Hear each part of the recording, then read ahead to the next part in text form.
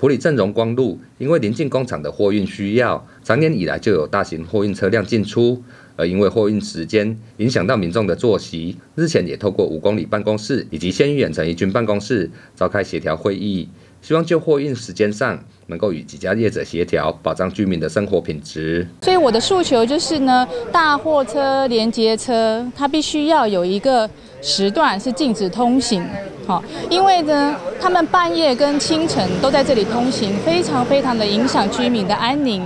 然后呢，它因为车种是非常的长、非常的重，所以它造成的居民哈的房屋的震动跟噪音也都是非常的大的。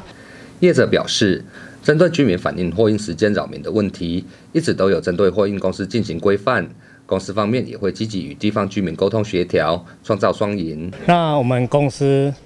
对这个事情，对民众反映说有妨碍安宁的事情，其实我们也很注意，那也有就要求司机啦，啊，我们会尽量啊来配合，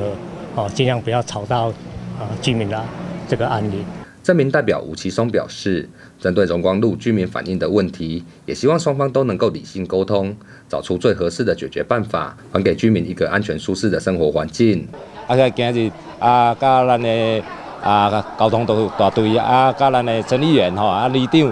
啊，等等的单位吼，共同来会勘吼，都是寻求讲一个吼，会使讲啊，大家拢会使接受啊，双赢也是三赢的场面，吼，啊，或这个代志会使圆满啊，幸福地方民众一个安全、舒适吼，啊，诶，一个生活环境啊。县议员陈义军表示，如何兼顾企业的发展以及居民的权益，是今天协调的重点。因此，在今天的会议中，也决议下个星期再开一次会议，让行驶荣光路的所有业者以及更多居民一起来协调，找出一个双赢的解决办法。那呃，今天的会议的结论就是说，将要再召开第二次的会议，那也会邀请除了呃，就是在这一条路上会行驶的一个大卡车或者是板车相关的一些业者，大家一起来开会。那还有我们在地的一个居民，好，那大家互相来协调一个什么样的时间，好，让这个时间内呢，呃，就是这些。大型的会扰民的这个车子不要来行驶。副议长潘玉泉